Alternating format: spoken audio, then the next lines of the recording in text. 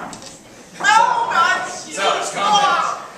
It's gonna be I just told everybody that I think the most important part of a woman is her mind. I know! I know! I was there! We debate.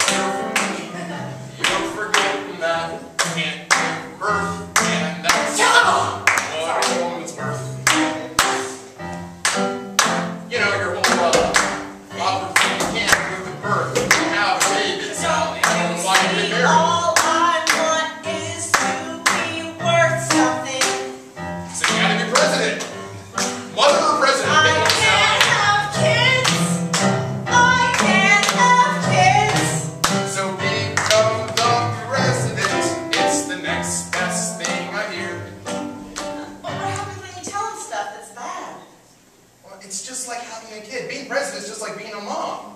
You tell them how it is and you spank them when they're bad. you take away their keys if they mess up too much.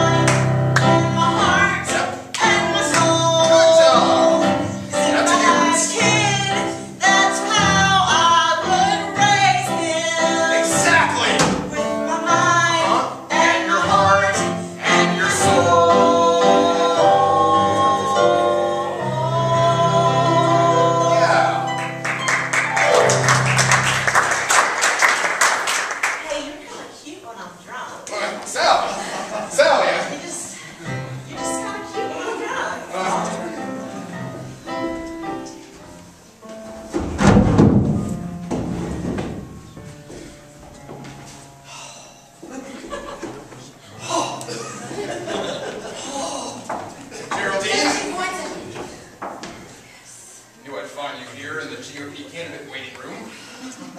Where else would I be waiting? My husband is a GOP candidate. Of course. Of course. Geraldine, I wanted to talk to you. It's clear that your husband and my Sally, the two strongest candidates for the presidency we have. Except she's actually way ahead of us in the polls right now, Exactly. which makes me angry.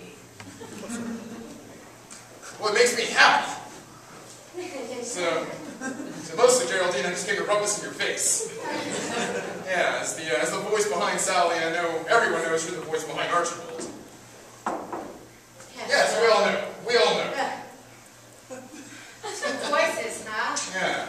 Because really, what is life without power? What is life without telling other people what to do and say? That's a good point. Right? Yes.